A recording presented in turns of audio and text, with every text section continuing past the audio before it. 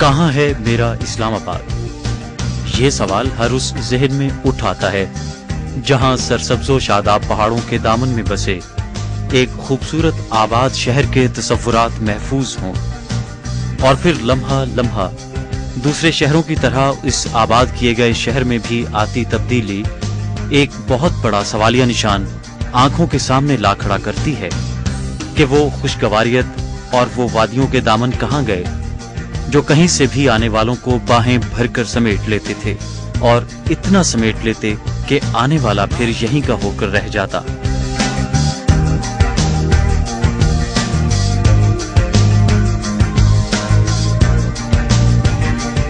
लेकिन मालूम नहीं कि इस्लामाबाद के सब्ज मौसम को किसी ने जर्दी में ढलते महसूस किया या नहीं। ज़िंदगी को मोहब्बतों में समाते नहीं, बल्कि सिमटते, सुकड़ते किसी ने देखा। या नहीं? ये वो लामहदूद सवालात हैं जिनका जवाब कहीं लाशऊर में गर्द की मनो तह तले दब गया है। लेकिन इन्हीं सवालों की खोज में मुआरे का वो तबका ज़रूर अपने होने का एहसास दिलाता है, जिसे आर्टिस्ट या फनकार कहा जाता है।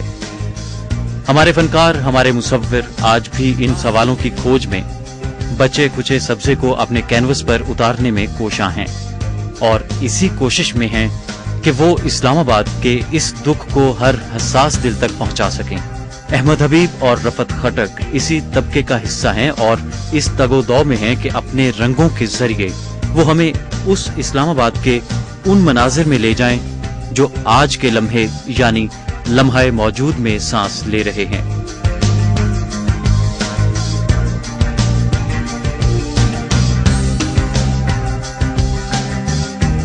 वेयर इज़ माई इस्लामाबाद इस मौजू पर दोनों फनकारों ने अपने फन को ज़रिया इजहार बनाया और एक नुमाइश का एहतमाम किया।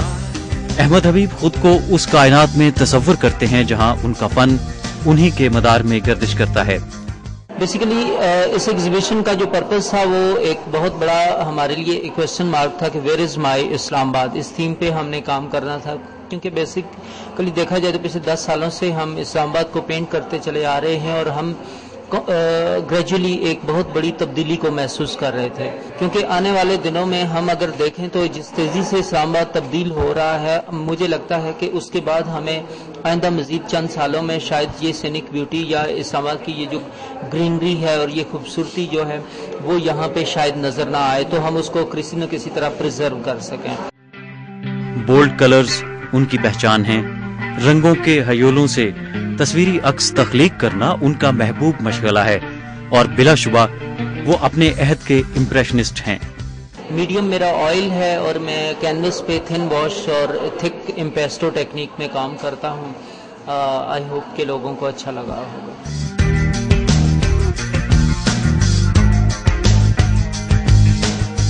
अहमद का काम बहुत बहुत ज़बरदस्त है। आई बिन रियली इम्प्रेस्ड उसमें।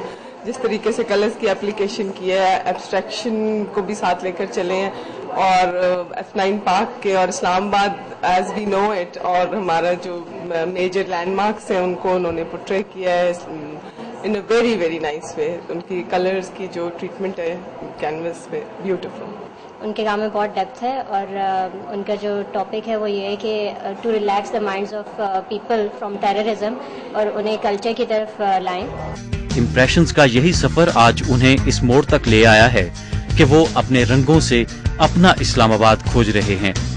अब जैसे ये पेंटिंग है व्यू फ्रॉम मरगला हिल्स तो इसमें अगर हमने टॉप बर्ड आई व्यू इसीलिए लिया है कि हम ओवरऑल लैंड को दिखा सकें। जैसे इसमें देखें कि हमने रोड्स मैंने पेंट की हैं ओवरहेड ब्रिजेस पेंट किए हैं, और टू मच कंस्ट्रक्शन को मैंने दिखाया है, जिसकी वजह से आहिस्ता आहिस्ता आपका जो ग्रीन बेल्ट है वो किल होता चला जा रहा है और कंस्ट्रक्शन का जो एक आ, स्पीड है वो बड़ी तेज़ी से फैलती जा रही है।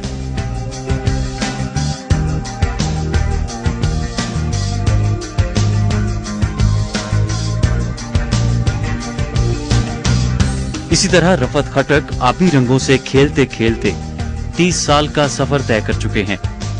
इस्लामाबाद के पार्कों और सब्जे को वो आबी रंगों से पेंट करते हुए उसकी खूबसूरती को बचाकर रखना चाहते हैं, लेकिन उन्हें इस बात का भी एहसास है कि उम्मीद का ये शहर इंसानों की मशीनी ज़िंदगी में कहीं दम तोड़ रहा है। इसलिए सकाफती और रिवायती लिहाज से इस दम तोड़ते शहर को कहीं महफूज कर लेने की ज़रूरत है।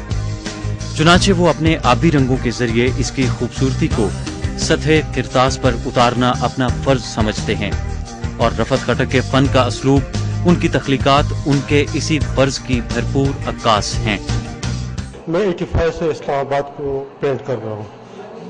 मुख्तलिफ़ वक्तों में और उसके मुख्तलिफ़ दो उसमें पेंट कर रहा हूँ। तो इसका मतलब ये थी कि इस्लामाबाद जो जो नेचर है, उनकी जो ब्यूटी है और उनकी जो सड़कें हैं, वो मेरे ख्याल में ख़त्म हो रही है। फुटपाथें तंग हो रही हैं सड़कें कम हो रही हैं बिल्डिंग्स और कंस्ट्रक्शन जो है ना उसकी वो ज़्यादा हो रही है इस वजह से। तो जो मेरा काम है उसमें ज़्यादा नेचर को मैंने पेंट किया। रफत खटक के फन पर एक झलक डालें तो पानी की शफाफियत और एक बेसाख्तापन देखने वाले को न सिर्फ़ रुकने पर मजबूर कर देता है बल्कि अपने बेसाख्ता बहाव में इस्लामाबाद के मनाजिर में दूर कहीं दूर तक ले जाता है। जो मुझे चीज़ बहुत इम्प्रेस कर रही है वो कलर्स कॉम्बिनेशन है और सिंपलिसिटी है। तो रिफत जो है वो खटक जो है पहले रियलिस्टिक पेंटिंग करता रहा। लेकिन अब वो आहिस्ता आहिस्ता ये सिम्बोलिज्म की तरफ़ जा रहा है रिफत जो है। यानी अपनी अंडरस्टैंडिंग के साथ जा रहा है।